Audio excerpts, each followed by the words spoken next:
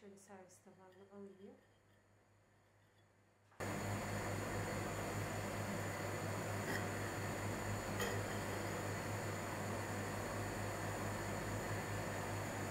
Merhaba arkadaşlar, mutfağıma ve kanalıma hoş geldiniz. Bugünkü tarifim Sebastian lezzetinde çok güzel yoğurt pastası yapacağız. 4 adet oda ısısında beklettiğim yumurtanın hiçbir şekilde içerisine sarısı kaçmayacak şekilde hazırladım. Bir su bardağının toz şekeri ilave ediyorum. Güzelce böyle köpük köpük olana kadar çırpıyorum.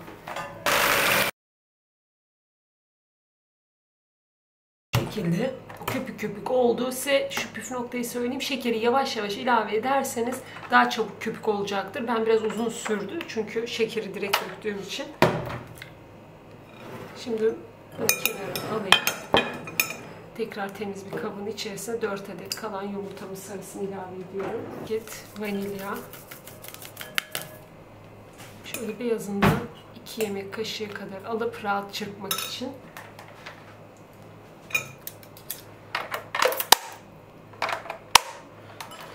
Sarısını da güzelce çırpıyorum. Şimdi içerisine şöyle göstereyim. Ben e, süzme yoğurdu kendim bu şekilde hazırladım. Ev yoğurdunu süzgece koydum. Bir tülbente suyunu akıttım. İsterseniz de e, 350 gram süzme yoğurt kullanabilirsiniz. Yoğurdu da içine katıyorum. Almakla falan uğraşmayın. Evinizde varsa kullanabilirsiniz. Şimdi yoğurtla da çırpıyorum.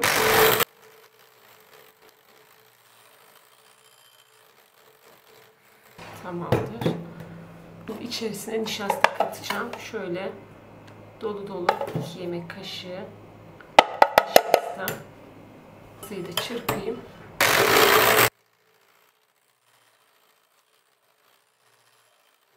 Yeterli. Artık mikseri kaldırdım yumurtanın aklarını yavaş yavaş şöyle 2-3 aşamada yavaşça yedireceğim. Yoğurt 350 e, gram bu arada söyledim hatırlayamıyorum ama tekrar hatırlatayım. Yumurtanın aklarını söndürmeyin sakın. Yavaş yavaş yedirin.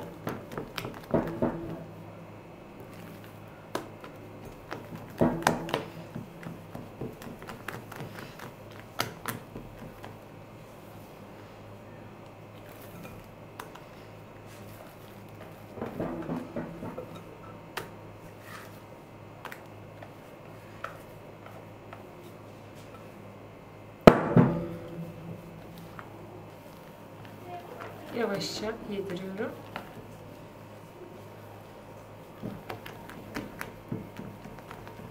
Şöyle kelepçeli kalıp kullanıyorum. 22 santim çapında. Yağlı kağıdı dizdim.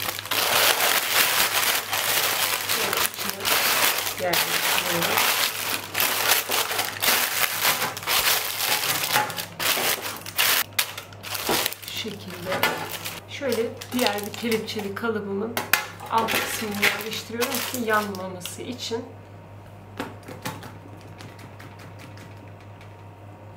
Hazırladığım karışımı döküyorum.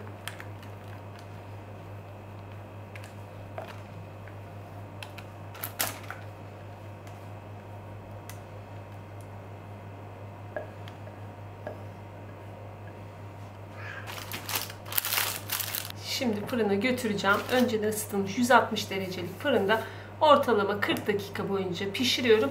Mutlaka önceden ısıtılmış olsun arkadaşlar. Ona çok dikkat edin. Fırına götürüp pişireyim. Pişirdim arkadaşlar gördüğünüz gibi. Ee, bir gecede de dinlendiriyordum. Tam ne kadar sürede diyeyim bir 50 dakikada falan pişti. Ben şöyle alacağım. Şöyle servis tabağına alacağım.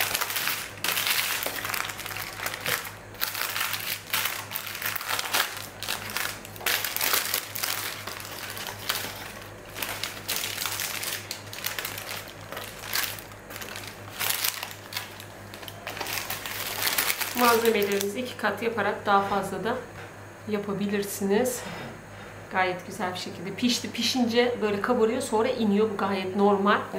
Biraz pudra şekeri serpeceğim.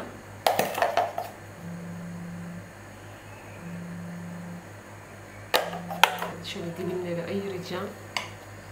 Oldukça lezzetli ve güzel bir pasta. Oldukça da ekonomik ve pratik.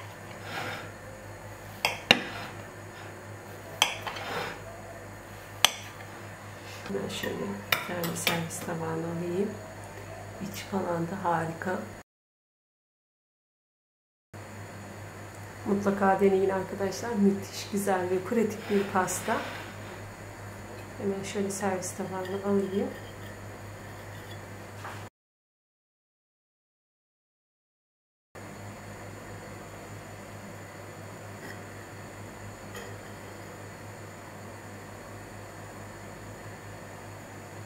Videomu beğendiyseniz birden 10'a kadar puanlarınızı yorum kısmına bekliyorum. Mutlaka deneyin. Müthiş bir tadı var. Sanki böyle Sebastian havasında bir pasta ama masrafsız çok lezzetli. Umarım sizler denedikten sonra çok daha güzelini yaparsınız.